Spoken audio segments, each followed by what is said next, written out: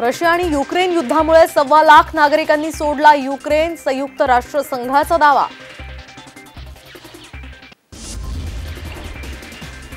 युक्रेनमधून दोनशे एकोणीस भारतीय विद्यार्थ्यांना घेऊन पहिलं विमान झेपावलं. एअर इंडियाचं खास विमान आज मुंबईत दाखल होणार. मराठा आरक्षणाबाबत महाविकास आघाडी सरकार चालढकल करत असल्याचा संभाजीराजेंचा आरोप. तर प्रसाद लाड आणि प्रवीण दरेकरांनी घेतली राजेंची भेट. रश्मी शुक्लांविरोधात फोन टॅपिंग प्रकरणात पुण्यात गुन्हा दाखल महाविकास आघाडी सरकार आता ऍक्शन मोडमध्ये आरोग्य विभागाच्या गट क चा पेपर फोडणारा मुख्य एजंट गोपीचंद सानपला ठोकल्या बेड्या पुणे सायबर पोलिसांची कारवाई.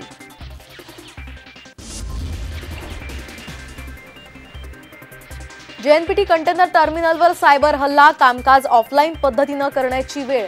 तर हल्ल्याच्या चार दिवसांनंतरही यंत्रणा पूर्ववत नाहीत. जेएनपीटीचं कोट्यावधींचं नुकसान.